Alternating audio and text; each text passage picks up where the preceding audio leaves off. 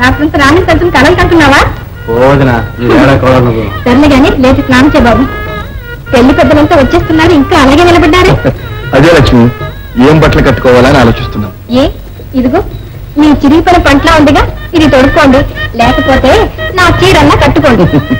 ఎన్నాళ్ళ నుంచో మొత్తుకుంటున్నాను ఒక జత కొత్త బట్టలు కొనుక్కోండి అని. నా మాట విన్నారు నా మాట లక్ష్మి. మీరు మాత్రం ఈ శుభదినం ఇంత త్వరగా వస్తుందని కలగన్నానా? ఇదంతా మన సొంతేడి చలవ సరేనండి. నా మాట విని ఈ రోజుకైనా ఓ రెడీమేడ్ సూట్ కొనుక్కొని కట్టుకోండి. నా కళ్ళారా చూస్తాను. బలి ఇచ్చాం ఒక క్షణంలో వస్తాం. ఆ, ఇదిగో ఇదిగో. అదేంటండి అలా వెళ్ళిపోతున్నారు? ఇది కష్టాన మీరు వేసుకుని వెళ్ళండి. లక్ష్మి మనం పెద్దవారితో ఎనిమిది కూర్చున్నా కదా. ఇక ఇల్లు మార్చేయాలి. అలాగే మీరు ముందు వెళ్ళిరండి వచ్చేటప్పుడు ఒక పెద్ద ఫోటోగ్రాఫర్ని కూడా తీసుకొస్తాను. ఫోటోగ్రాఫర్ ఎందుకు? ఎందుకు? మనందరం ఫోటోలు దిగద్దు. అవునవును. మీరు ముందు త్వరగా వెళ్ళి త్వరగా రండి ఆ. విజయాల వారు వచ్చేస్తారు. అయ్యో అయ్యో. ఇప్పుడు కూడా రిక్షా ఎందుకండి? కాస్త నడిచి వెళ్ళండి. అమ్మా అమ్మా. నాన్న పట్టుకోవడానికి పోలీసులు వచ్చారమ్మా. పట్టుకోవడానికి అదే పిచ్చి పిల్ల. లడ్డుండలు తింటానికి ఓహో పట్టుకొని సరిగ్గా రండి రండి. సమయానికి వచ్చారు. ఇవాళ మా తమ్ముడు ప్రధానం సార్. ఏమిటి సంగతి? మీ తమ్ముడు గారిని అసిస్టెంట్ కమిషనర్ గారు అర్జెంట్గా తీసుకురమ్మన్నారు సార్. ఇందాక వచ్చిందా జీప్ కూడా తీసుకొచ్చాను సార్. మీరు కొంచెం నోరు తెరవండి సార్. ఆ, ఆ, ఆ, ఆ, ఆ. అదేమిటి మోహన్? ఈవేళ సెలవు పెట్టాలన్నావు కదా? అవునదనా అయినా పోలీసు ఉద్యోగానికి సెలవు అని చెప్పు. కాస్త త్వరగా తిరిగిరా నాయన. అలాగే. వస్తామా అట్లాగే. లక్ష్మి మనవాడు యూనిఫామ్లో మంచి దర్జాగా ఉన్నాడు కదా? అది సరే గాని మీరు ఇంకా ఇలాగే నిలబడ్డారే? ఓ. త్వరగా వెళ్ళండి ఆ, అదేంటి మళ్ళా కదా? గుడ్ మార్నింగ్ ఓ మిస్టర్ మోహన్ రావు మరో హత్య జరిగింది. ఎప్పుడండి? నిన్న రాత్రి పన్నెండు గంటలకి డాక్టర్ జయశ్రీ ఎవరో కూలి చేసి ఆయన నగలు దోచుకున్నారు. ఆ శవాన్ని కింకోటి ప్రాంతంలో పారేశారు. రాత్రి ఆ ప్రాంతంలో ఆమెను బ్రతుకుని ఎవరైనా చూసారా కొద్ది నిమిషాలకు ముందే ఆవిడ ఒక రిక్షాలో పెడుతున్నట్టు అక్కడ పెట్రోల్ బంక్ వాళ్ళు భోగట్ట ఇచ్చారు. ఆ రిక్షా వాళ్ళు ఎవరు?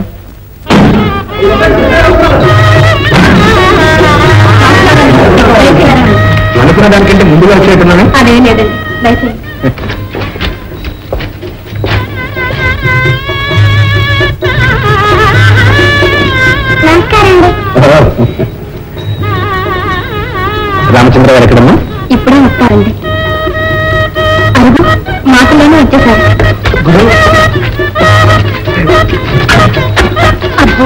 నిజంగానే దొరలాగున్నారే ఉం? రండి. రామయ్య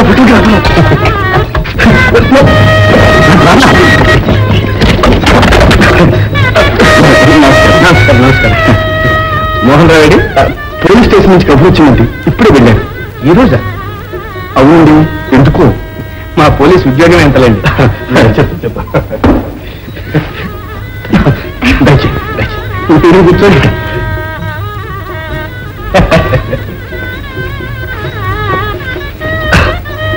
అందరూ కులాసా ఉన్నారండి?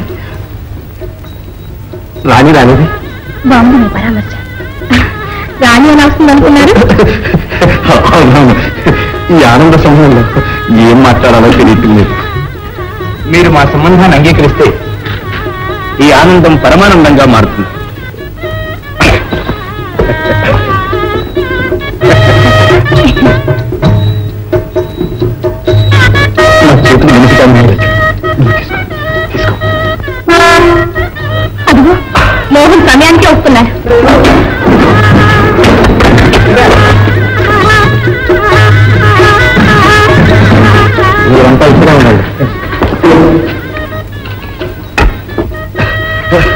మోహన్ ఓ మోహన్ నీకోసం ఎదురు చూస్తాను సమయానికి వచ్చాం ఫోటోగ్రాఫర్ రాబాయ్ పుట్టదు రెడీ.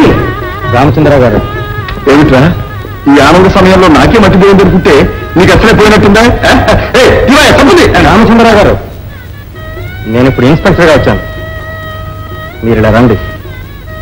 మీ దగ్గర స్టేట్మెంట్ తీసుకోవాలి. స్టేట్మెంట్? నాటకం నుంచా? మోహన్ రావు ఏమిటిదంతా?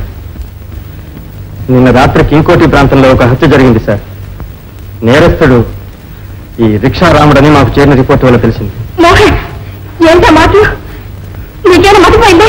లక్ష్మీదేవి గారు క్షమించండి. నేను యథార్థం చెప్తున్నాను. రామచంద్రరావు గారు నిన్న రాత్రి పన్నెండు గంటలప్పుడు మీరు ఎక్కడున్నారు?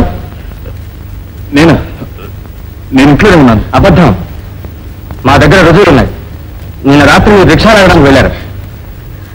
అవును. వెళ్ళాను. చాలా కాలం నుంచి రిక్షా లాగటం అలవాటు నిద్ర పట్టకు వెళ్ళాను. మరి మాతో మొదట లేదని అబద్ధం చెప్పారు? అదేంటి మోహన్? నువ్వు ఆఫీసులో అయ్యాక నీతో చెబితే నొచ్చుకుంటాను నన్ను కూడా చెప్పొద్దన్నారు. ఇందుకు తప్పే ఉంది? తప్ప ఒప్ప అన్నది అప్రస్తుతం లక్ష్మీదేవి గారు. మీరు చెప్పే ప్రతి మాట స్టేట్మెంట్ తీసుకుంటాం. రామచంద్రరావు గారు జాగ్రత్తగా ఆలోచించి సమాధానం చెప్పండి. నిన్న రాత్రి పన్నెండు గంటల ప్రాంతంలో జయశ్రీ అనే ఆవిడ మీ రిక్షా ఎక్కిందా? జయశ్రీ అవును సార్. మీరు సమాధానం చెప్పరా? ఎక్కింది. వాళ్ళ ఇంటికాడ దిగబెట్టి వచ్చాను. అయితే ఆమె మెడలో ఉన్న వజ్రాహారం మరికొన్ని నగలు? అదేమీ నాకు తెలియదు అది నా పని కాదు కానిస్టేబుల్స్ ఇల్లు సోదా చేయండి. లక్ష్మీదేవి గారు. అమ్మా పోలీస్ డ్యూటీకి ఆటంకపరచడం నేరం. కావాలంటే మీరు వారితో వెళ్ళండి. నా ఇంట్లోకి పోలీసు వెళ్ళండి సోదా చేసుకో. నేను చెయ్యలేను. ఇంత అన్యాయం. ఇంత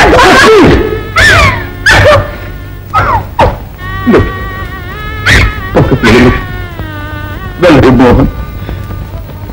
నేను హంతకుండానే నీ అభిప్రాయం. వ్యక్తిగతమైన నా అభిప్రాయాలకు ఇప్పుడు విలువ లేదు. ప్రస్తుతం నేను గవర్నమెంట్ ఆఫీసర్ని.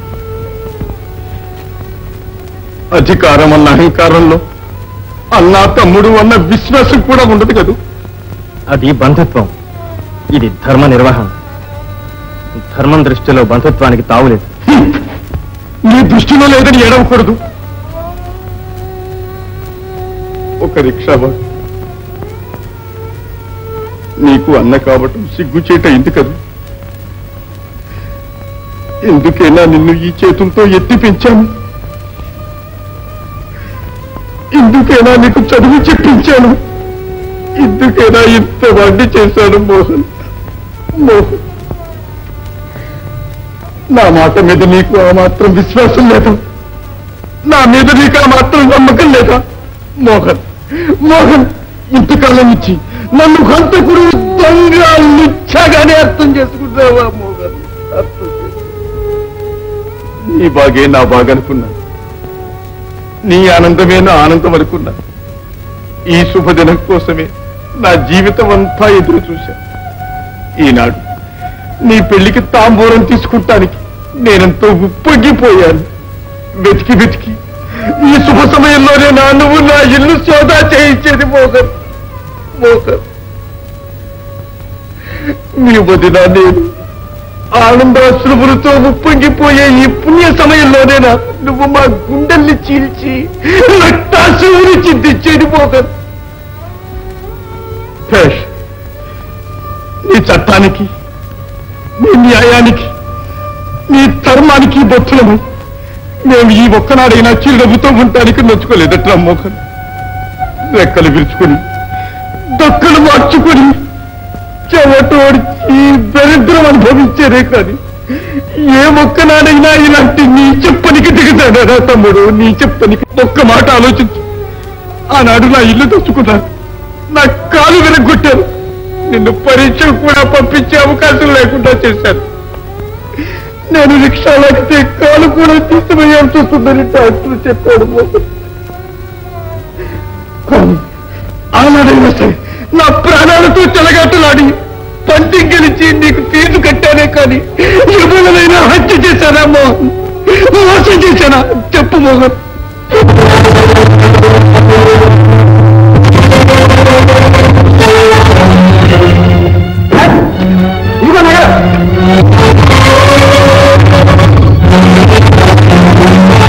కానిస్టేబుల్.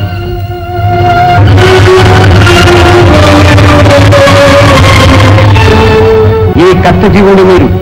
కనికరించి అమాయకులను వెనుకేసుకొస్తున్నారు. ఆ కష్టజీవులే ఈ సంఘంలోని దుష్టకార్యాలన్నిటికీ కారకులను అప్పుడే